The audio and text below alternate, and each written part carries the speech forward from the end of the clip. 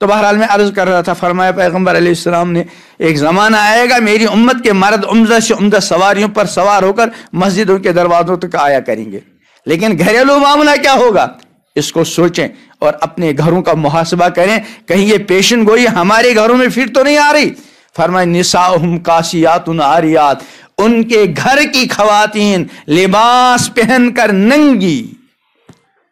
पहले जमाने में इसका समझना जरा दुशवार था। कि लिबास पहनकर तो नंगी कैसी? नंगी है तो लिबास का मतलब क्या होता है? फिर लेकिन आजकल इसका समझना मुश्किल नहीं। घरों में मतलब समझ में आ जाता है। वो नंगापन। तीन तरीके का नंगापन। एक तो ये कि हमारी बेटियाँ, हमारी घर की खातन लिबास ही अधूरा पहनती हैं। बाल खुले हैं। चेहरा जो खूबसूरती के लिए मरकजी मकाम है, वो खुला हुआ है। जो चाहता है हमारी इस बेटी को देखकर आँख की बदकारी में मुबतला होता है। इसमें है ना अलनानी तजनियान वजना नज़र। आँखें जना करती हैं और आँखों का जना क्या है? देखना। जो भी इस बेटी को देखता है, इसके चेहरे को देखता है तो गोया कि वो इसके साथ आँख की बदकारी में क्या होता है? मुबतला होता है। वो कितना बेगैरत बाप है, कितना बेगैरत शौहर है। कि जो चाहता है उसकी बीवी को देखकर आँख के जिना में मुबतला होता है। जो चाहता है उसकी बेटी को देखकर आँख के जिना में मुबतला होता है। ये गैरत है कि बेगैरती? इंतहा दर्जे की बेगैरती। जो एक मुसलमान को जेब नहीं देती बेगैरती। मुसलमान बागैरत हुआ करता है।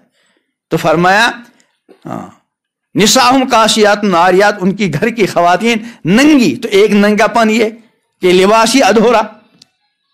और दूसरा नंगापन ये कि लिबास इतना बारीक कि जिस्म की खाल तक नज़र आए। और सबसे बड़ा नंगापन ये कि लिबास इतना चुस्त कि जिस्म की साख्त और जिस्म की बनावट उभर कर आती।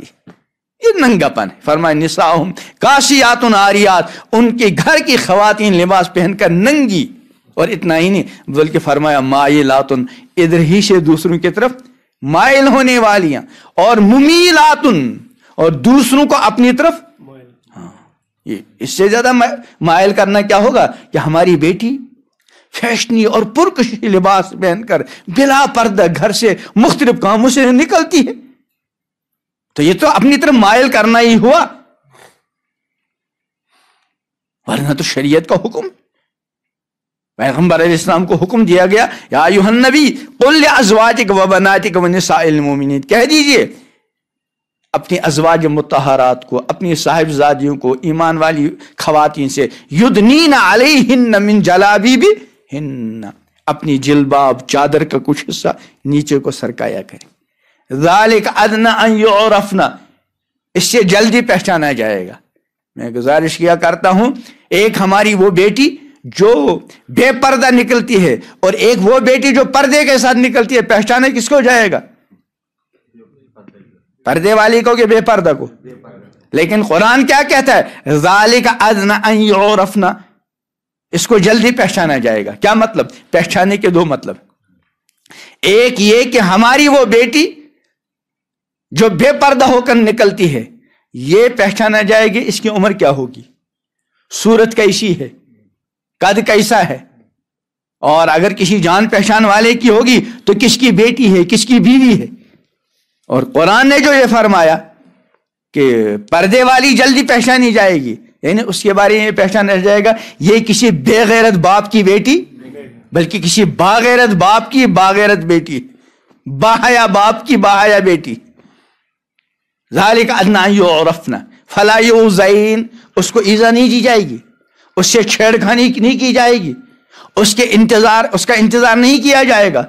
उसका मोबाइल हा, नंबर हासिल करने की कोशिश नहीं की जाएगी क्योंकि उसका लिबास ही बता रहा है यह किसी शरीफ खानदान की लख्ती जिगर है। तो मैं अर्ज़ कर रहा था कि इस वक्त जो माहौल बना हुआ है वहाँ शादीशुदा के लिए संभलना मुश्किल। इसलिए इस वक्त घर के बड़ों पर दो जिम्मेदारियाँ बड़ी अहम। एक अपने बच्चों और बच्चियों का निकाह क्या करें? वक्त पर। और दूसरा, कम अज कम अपने घरों पर तो कंट्रोल कर ले। मैं आपको कह सकता हूँ, तेज लहजे में कह सकता हूँ, उससे ज़्यादा क्या कहूँगा? लेकिन जहाँ तक मुझे अपने घर का मामला है, और आप सब हजरात के अपने घर का मामला है, अपने अपने घर पर हर इंसान कंट्रोल कर सकता है।